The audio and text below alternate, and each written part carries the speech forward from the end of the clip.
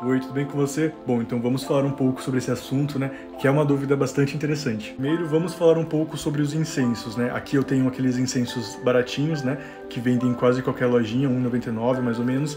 E aqui a gente tem um incenso natural, né? Feito com as ervas aqui vamos falar um pouco sobre como a gente vai utilizar eles e como a gente não vai utilizar eles. Olha, de forma bem resumida, tá? A gente pode sim utilizar esse daqui para todas aquelas atividades, né, ou algum ritual que não precise necessariamente da energia da erva. Porque se a gente der uma olhadinha rápida aqui na composição dele aqui atrás, a gente vai ver que não tem nada de lavanda aqui. Então não faria sentido, né, eu, tentar fazer um ritual ali onde eu vá utilizar a energia da lavanda, né, e utilizar esse tipo de incenso, né? Porém, ele tem o aroma, né, ele é perfumado ele ajuda ali a perfumar o ambiente e ele também pode ser utilizado na representação né, na evocação do elemento ar. Eu, particularmente, gosto bastante desses incensos aqui para utilizar nas oferendas para as divindades, porque não necessariamente né, eu precisaria fazer a queima da erva, né? eu posso utilizar ali um incenso só com o perfume, estou querendo tornar ali o ambiente mais agradável. Né? Eu, claro que é bom a gente não pegar qualquer um também, né? porque a gente vê pela internet que tem alguns incensos aí que podem causar né, alguns problemas de saúde, mas em geral tem uma marca ali que você gosta, eu normalmente pego sempre a mesma. Eu faço sim a oferta deles para as divindades, né?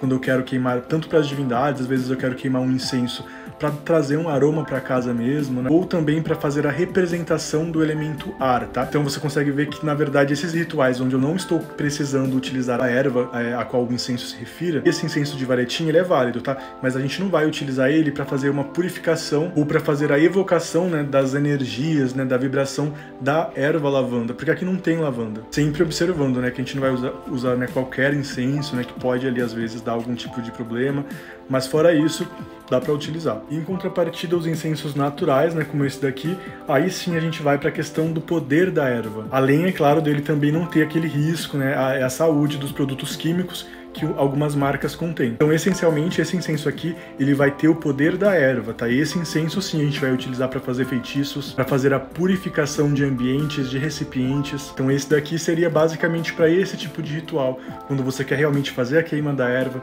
fazer um banimento, né, uma purificação. Esse daqui, sim, contém a erva. Tem alguns outros também que são mais grossinhos, como esse daqui, por exemplo, de Arruda, ó, da loja do ateliê Estrela de Davi. Ele não é feito diretamente com as folhas, né, mas ó, dá para ver aqui que ele é artesanal, né? Ele é natural. Então esse daqui realmente a gente vai ver na composição, ele é feito com a erva. Então ele a gente pode utilizar novamente, né, para aqueles tipos de rituais que precisam do poder e da energia da erva. Esse daqui é a mesma coisa, tá? Ele é mais parrudinho, ele tem as ervas mesmo de fato. A gente pode fazer eles, comprar as ervas e montar, né?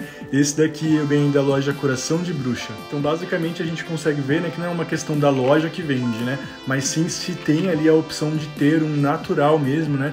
Feito com a erva ou não. A maioria desses baratinhos, né, eles são baratinhos justamente por isso porque eles não contêm ervas. Aroma, né, e tudo mais é, é são todos produzidos artificialmente, né, para imitar ali a erva. Porém, né, para aqueles ritos, rituais e procedimentos que não necessitem necessariamente do poder da erva, eles podem sim ser utilizados, tá? Bom, então eu vou fazer um outro vídeo, fazer uma parte 2 aqui falando um pouco sobre os cristais, tá bom? Espero ter ajudado. Tchau, tchau.